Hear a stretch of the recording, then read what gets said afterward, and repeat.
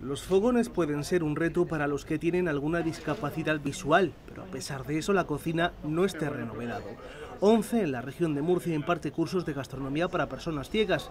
Lo hace aquí, en este aula del mercado de Verónicas. Esta iniciativa surgió hace dos o tres años directamente por algunos afiliados de, eh, aquí de Murcia, afiliados sobre todo jóvenes ciegos totales que viven solos y que tenían mucha inquietud por aprender, aprender a cocinar y tener sobre todo unas pautas adquiridas de accesibilidad y de seguridad en la cocina unas pautas que estas instalaciones no tenían. El Ayuntamiento Capitalino está decidido a cambiar esto. La Fundación 11 está realizando un proyecto de adaptación que una vez culmine hará más accesibles sus instalaciones.